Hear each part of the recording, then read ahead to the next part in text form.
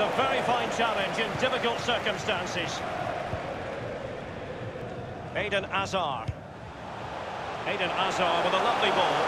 He might profit from here, you know.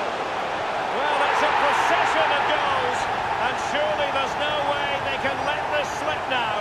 Absolutely dominant.